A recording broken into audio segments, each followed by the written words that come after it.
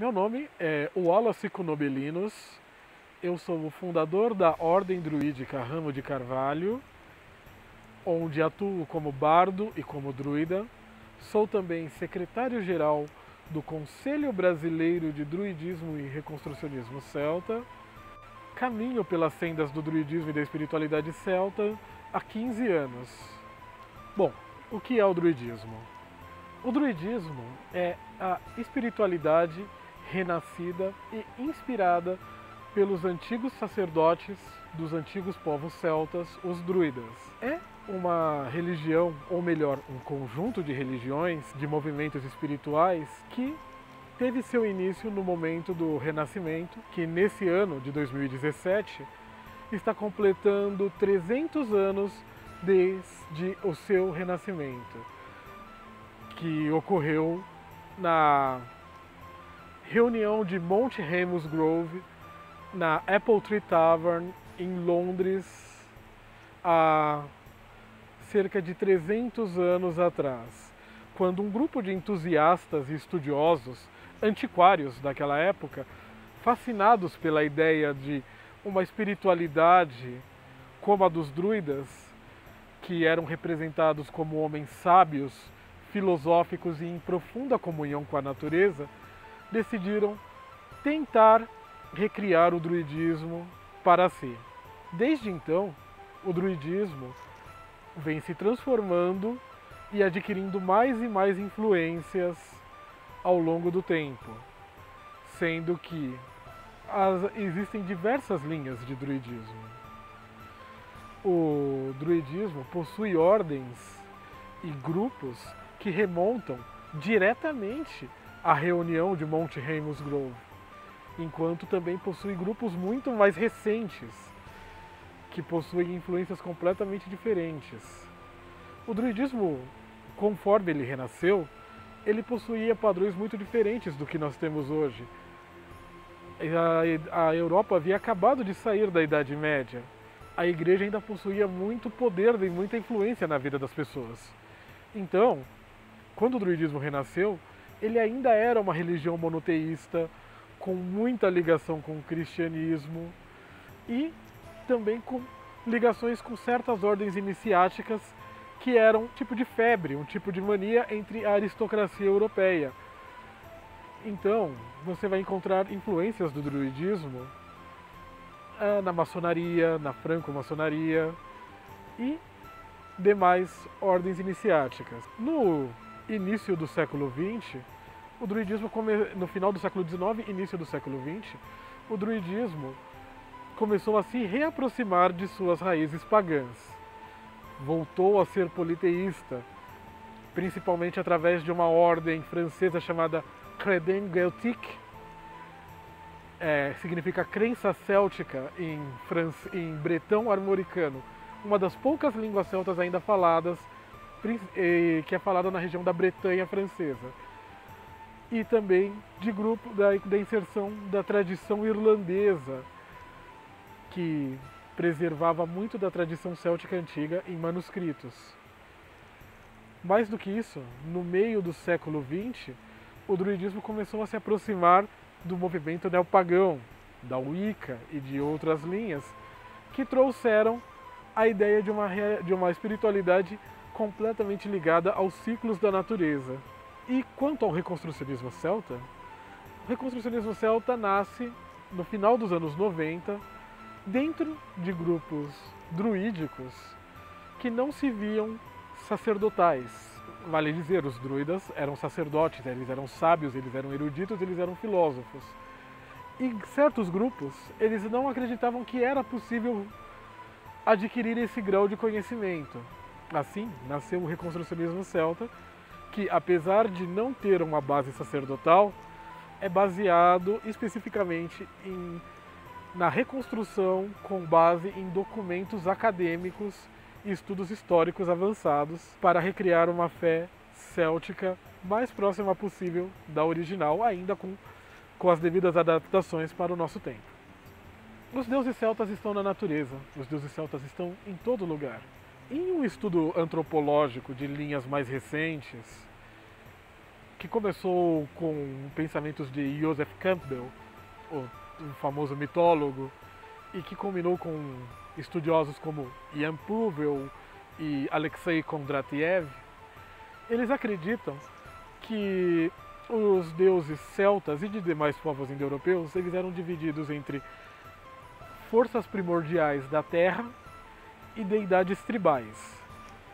As forças primordiais da terra seriam aquelas forças da natureza que estão longe do controle humano. Tudo aquilo que é capaz de trazer perigo ou incômodo para o ser humano. Vamos admitir, o ser humano é a espécie menos adaptada para sobreviver dentro da natureza. E por isso, o ser humano precisou desenvolver um grande número de apetrechos culturais para sobreviver. Assim, existem também os deuses tribais, que são os chamados deuses celestes, os deuses que inspiram a criação humana. E muitas vezes você, se, você encontra o mito entre da guerra entre os deuses celestes, os deuses tribais e os deuses da natureza, as forças primordiais. Você encontra entre os gregos com os, os deuses olímpicos lutando contra os titãs. Você encontra entre os nórdicos com os Aesirs lutando contra os Jotnar. Você encontra entre os hindus com os Devas lutando com os Asuras. E você encontra entre os celtas com as Turhadedanan e lutando com os Jotnar.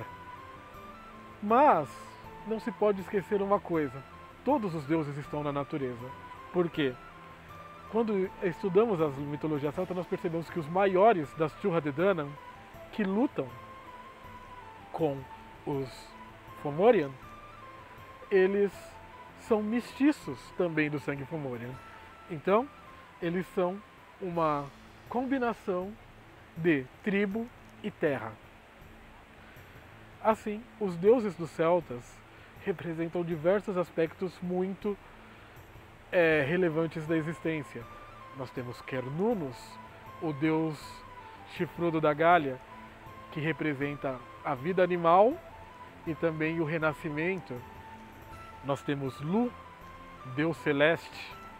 Nós temos Lu, deus celeste do raio e também das muitas artes que inspira todas as artes humanas.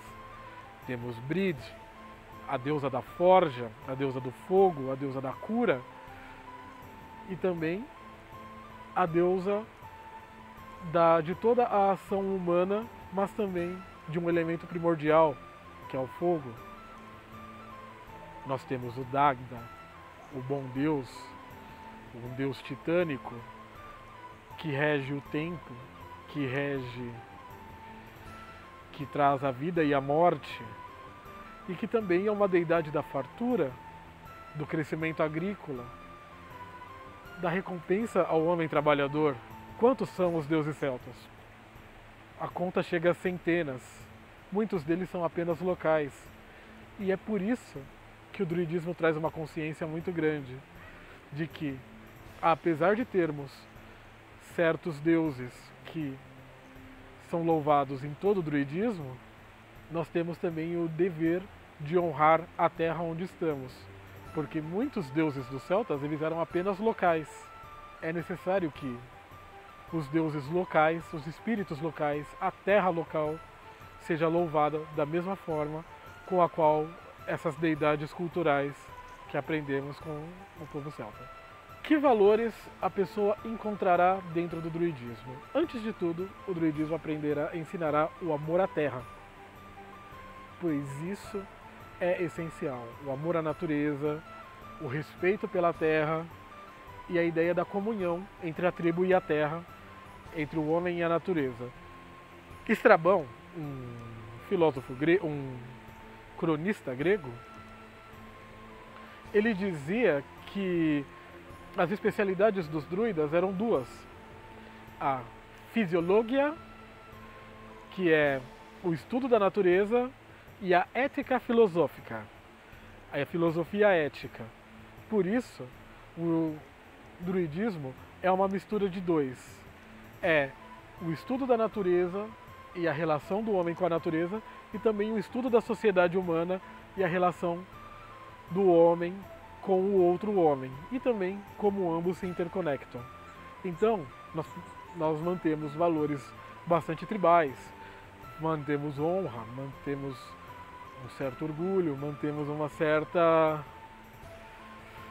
um certo amor à natureza, mas também aprendemos ética, aprendemos muito sobre a questão da inspiração, sobre tornar a vida algo digno de ser vivido. Pois isso é algo mais importante do que tudo. Você viver uma vida que te dê alegria e que te dê satisfação. Uh, vocês podem entrar em contato conosco, vocês podem conhecer o nosso trabalho através do nosso, da nossa página www.ramodecarvalho.com.br e entrar em contato conosco através da nossa página no Facebook Ramo de Carvalho Espiritualidade Celta.